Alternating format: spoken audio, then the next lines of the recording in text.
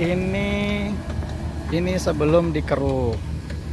Jadi kanalnya mau dibersihkan dinormalisasi oleh eksavator amfibi. Didatangin eksavator amfibi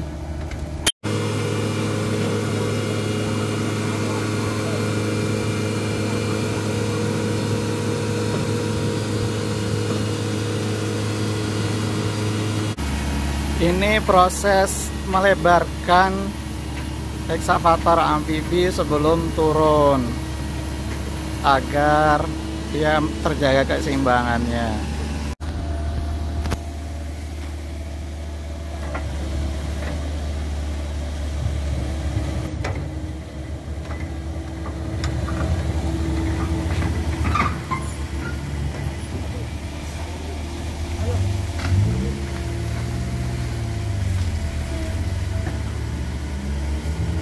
dalam ternyata